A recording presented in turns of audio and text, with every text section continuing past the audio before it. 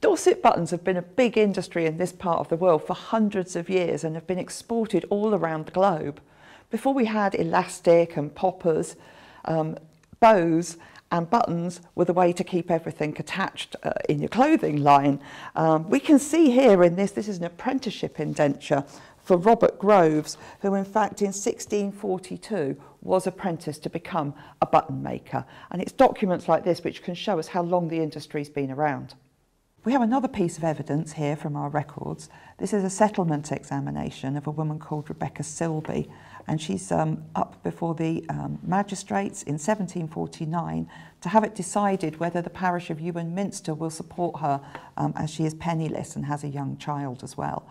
She's been previously indentured and she has learnt the, the gloving and buttoning trade, and that's how she's been making her living, but obviously not a good living. So um, at this point, she's, she's looking to be put on the parish, as it were. She gets taken on in that regard. She's not been making a lot of money because the button making is piecework and she needs to make lots and lots to make a good living. But you have to make no such rush today.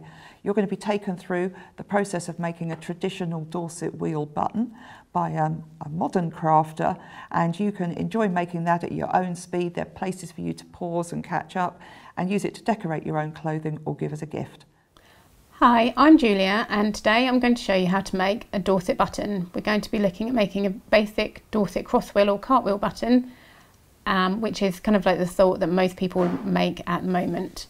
So we'll get started. What we need to do first of all is cut some wool. Um, I would recommend using about four arm lengths of wool to get started um, because the, the, more wool you have, the more tricky it is to, um, to kind of manage. So I'm just going to thread the needle Oh, and just, just and then pull it through so you've got quite a short length of thread.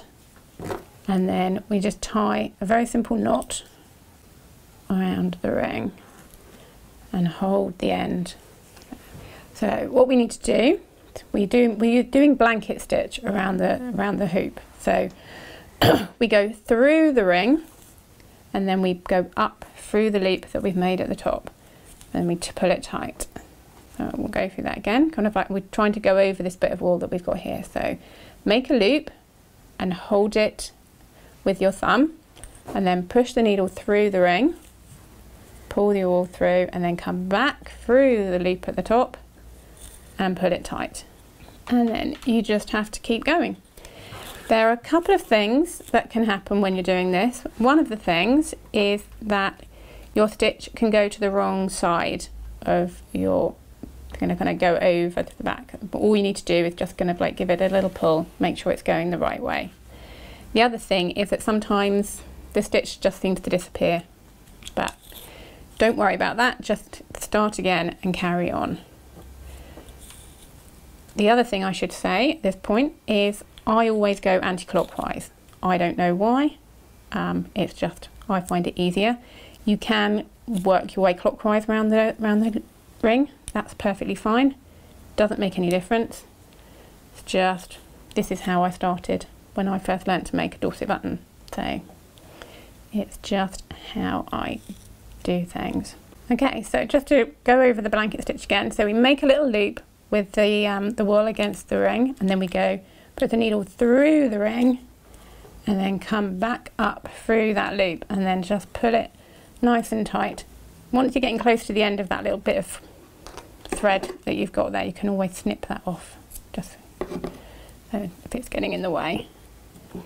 And we just need to keep doing that all the way around the ring.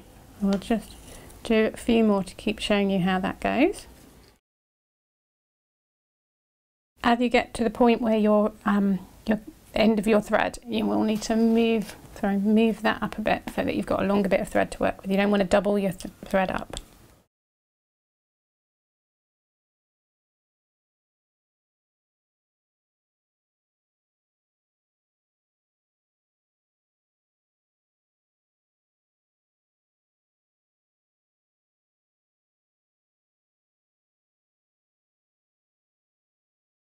So when you get close to the end, you kind of like, it looks like you've all, you've completely covered your ring. And then what you can do, if you just push them a little bit more, just so that you are you can always squeeze a few extra stitches in and you do want the ring to be completely covered. Almost there.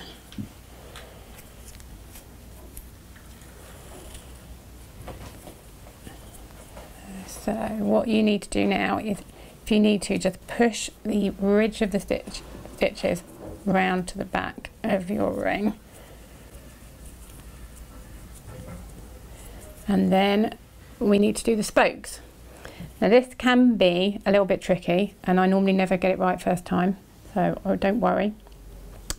We need an even number of spokes and I try and think of it as like a clock. So we've got 12 here, we've got six there.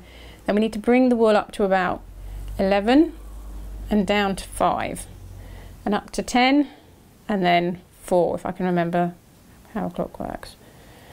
And then we go 9 and 3 and 8 and 2 and I've got a big tangle 7 and 1. So if you need to start again and do it again or you can move some of them over so kind of make sure that they're kind of evenly there's like an even gap in between each one.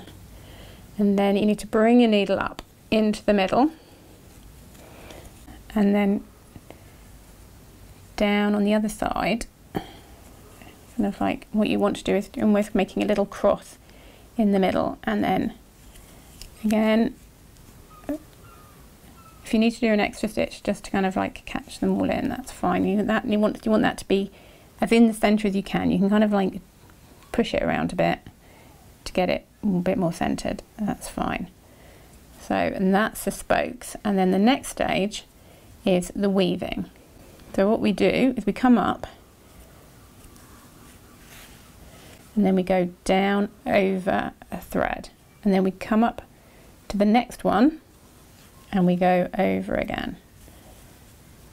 And we keep doing that so you come up between two spokes and then you go down